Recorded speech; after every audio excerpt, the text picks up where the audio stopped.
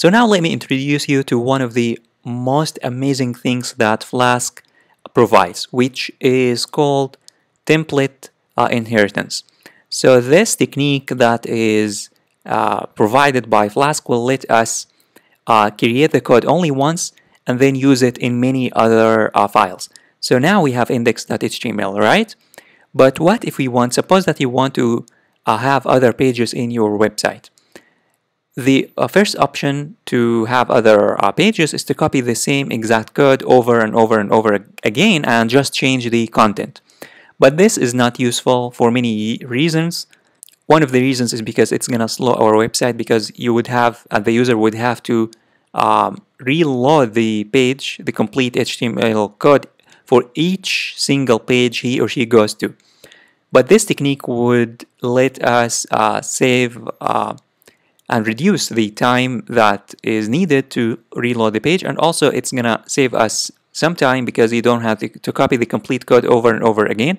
You only have the code once and then you can use it one uh, many times, not even one more time, but many, many times. So how can we accomplish that? Well, suppose that in your template here, in your templates here, suppose that you want to have another page here. So I'm going to create another, another page and, and then I'm going to uh, name that page simple, simple.html. And suppose that you want in this simple.html, you want to have the same exact code except for the content. So as I told you, the first option is to copy the complete code and paste it here. But this is, again, it's not useful. So the other option is by using the inheritance that is given by a Flask. So how can we use the inheritance?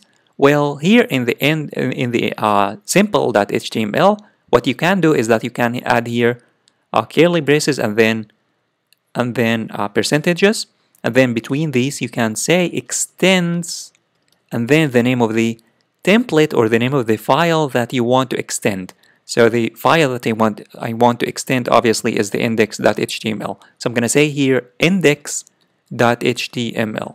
And then I'm to add here uh, quotes. Don't forget the quotes. You must surround this with the quotes index.html inside quotes. And then now if you save and uh, head on over to index to the index.py and create a link or route for this uh, simple.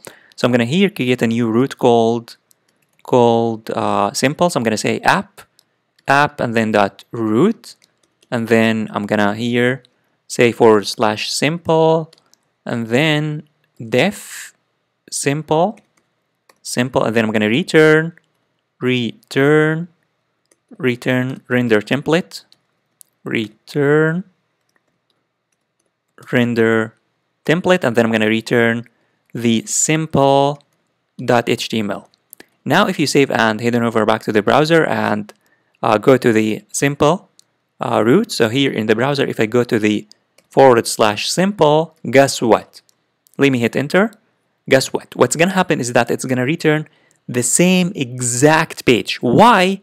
Because here what I what I told what I told uh, Flask, I told Flask, hey Flask, now that we have this index.html, uh, what I want you to do is that I want you to copy this code and paste it here. So what, what Flask has done is that it just has copied the complete code from the index.html and it has pasted that code in the in the simple.html. But you cannot see that. It's it has happened, but you can't see that. It's just ha it's happening behind the scenes. So this line of code index um, this line of code uh, extends index.html is basically going to copy the complete code from from that uh, from that specified uh, file and paste it here. And it's just going going to uh, copy the complete code and paste it here. And then it's going to return that uh, page. So now we know how to uh, kind of extend a specific template